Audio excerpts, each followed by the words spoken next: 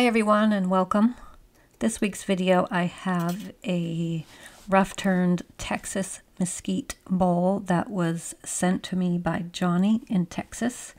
Um, never turned mesquite before so I was looking forward to uh, doing the final turning on this one. And Happy New Year everyone. I hope you're having a first uh, good first couple days of the new year. I know I'm looking forward to 2021. I'd love to hear what you, you guys uh, are looking forward in the new year down in the comments. So as I mentioned, this was uh, a rough turned bowl that was given to me. And I am doing the final turning. And having never worked with Texas mesquite or any mesquite really, I was really taking my time to make sure I didn't mess it up and ruin it. Um, it was it was dry as you saw me uh, take the moisture content. It was around seven percent, so it was perfect for turning. Now, I don't know if all Texas mesquite is like this, but um, this just was a gorgeous, gorgeous grained bowl. Thank you, Johnny, by the way.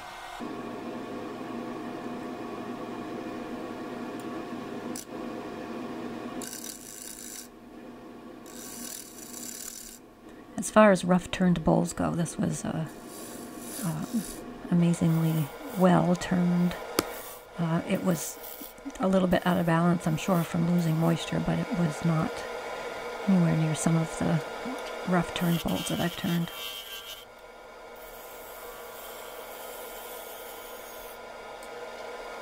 And this was a larger bowl. This is about uh, 13 inches in diameter. And about uh, four to five inches tall. Actually, I haven't measured measured the height yet. Um, I think it's it's probably right around four and a half.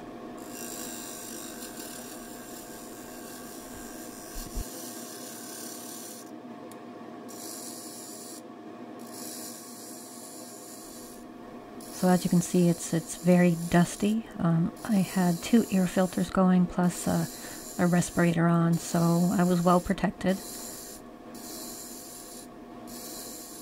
I was reading a post on Facebook today about the um, uh, the more expensive respirators, the 3M VersaFlow versus the Trend Air Shield.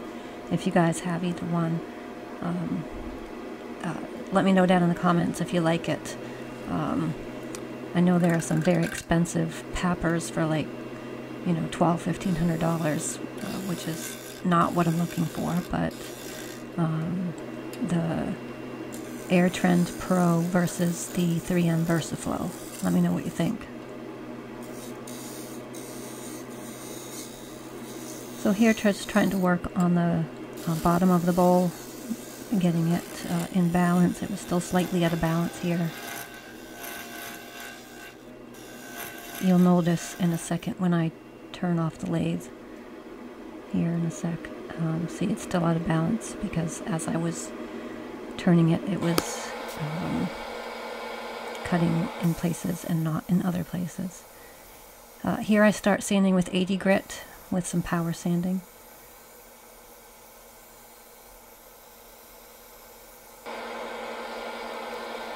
And some more 80 grit with some hand sanding.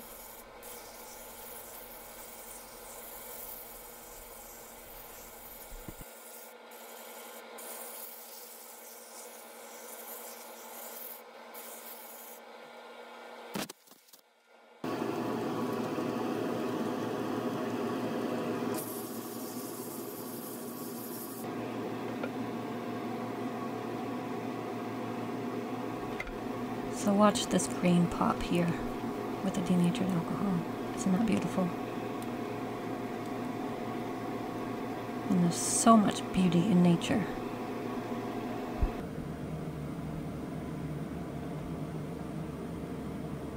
Yeah, just shy of 13 inches in diameter.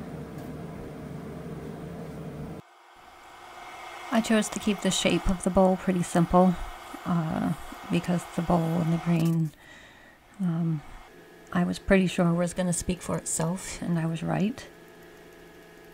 Using a tack cloth here to remove any dust before applying finish. Hey, if you're not subscribed yet, go ahead and click that subscribe button and the bell notification. I put out a video every week, and if you hit the bell icon, you'll be notified when I do. And the first or one of the first to uh, view it and not miss anything. Uh, using some Mahoney's walnut oil to finish it. All of the products that I use I will link in the video description if you're interested in trying them. Some are affiliate links and some are not.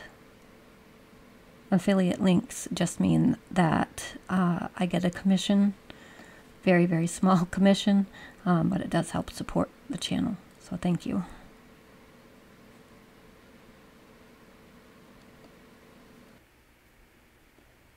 After the walnut oil dried overnight, I am putting uh, one coat of Ack's polishing paste on it to shine it up a little bit. If you haven't tried Ack's, I do have a coupon code available for viewers. If you go to ackswoodpaste.com, you'll get 10% off your order when you use code PF10. So thank you to Ack's.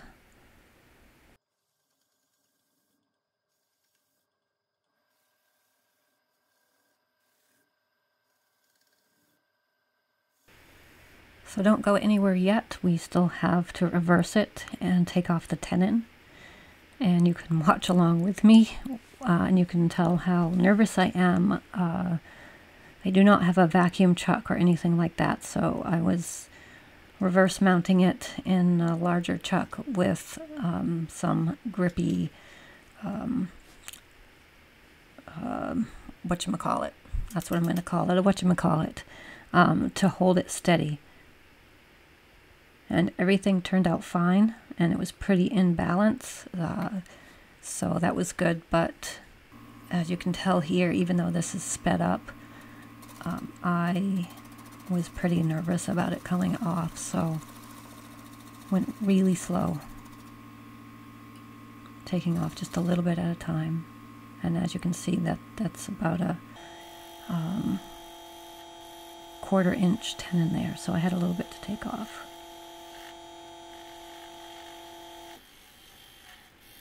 Anyone have a, a vacuum chuck out there and are they worth it? If you do a lot of bowls, I'd love to hear your comments on that. Seems like in wood turning, or probably woodwork in general, that uh, there's always another tool that you need. Aside from clamps, that is. There's more tools that you, you think you have what you need, and then you need something different.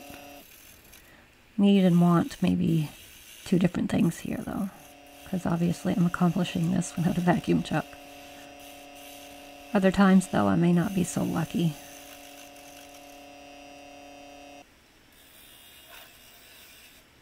Use the bowl gouge and the skew chisel to, to turn off the, the tenon. And again, this looks like I'm going pretty fast, but it's uh, sped up by four times taking off um, the little nub there with the saw.